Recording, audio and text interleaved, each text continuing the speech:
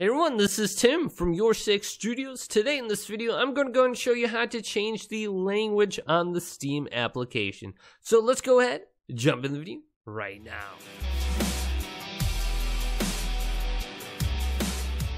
So there's two different ways you have to change the language on Steam. You have to change it on the client application itself and also the game application. So I'm going to show you both those ways right now. So let's start with the client. So if we go up to Steam and then go to settings right here and select this, then go over to interface. And the first option on the top is the language selection.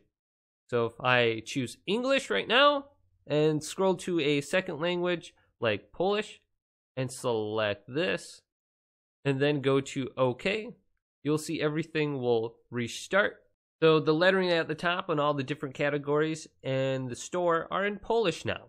Now that we changed the client's language, we have to do it in the game. So let's go over to library, then find the game we want to change the language for. So I'm going to choose Halo the Master Chief Collection, then right click on it, then go over to properties and select this. And then this window will appear and we will have an option which is the fourth option down for me, called language. So I have English selected. Let's go ahead and go back to Polish for this game and select this. And then close this page.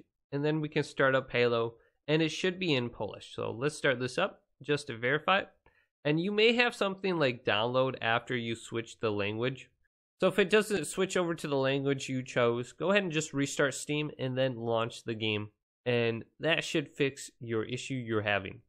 So it's very easy to switch the language on the game and also the Steam application itself.